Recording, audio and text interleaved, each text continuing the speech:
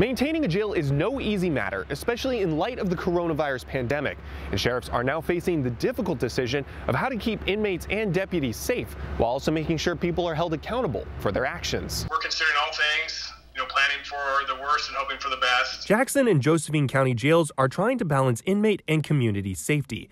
Sheriffs Nathan Sickler and Dave Daniel have both said the number of people they can hold is down to allow for proper distancing. We've just almost a third. While the jails can still take in people, both are looking at making sure inmates have enough space.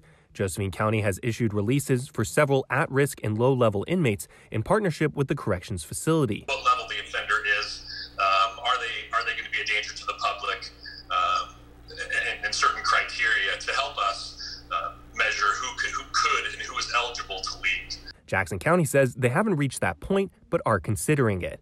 Both sheriffs say their jails have so far remained untouched by coronavirus. Tests have been given to some inmates and deputies, but all have turned back negative. You know, everybody's very mindful of this. It's not something we're taking lightly, um, but at the same token, we still have to do our job mm-hmm. and we still have to do it safely and we still have to do it thoroughly. Oregon Public Broadcasting reported last week a group of inmates in Oregon state prisons filed a lawsuit against the state for not taking necessary safety measures. Both Sheriff Sickler and Daniel assured they're doing what they can with the resources available. All the jails in the state uh, are at the county level, of course, are, are, are, you know taking measures, taking steps to try to mitigate um, liability and also health concerns. It's a balancing act that both sheriffs say they're continuously updating. In Medford, Miles Ruici, NBC5 News.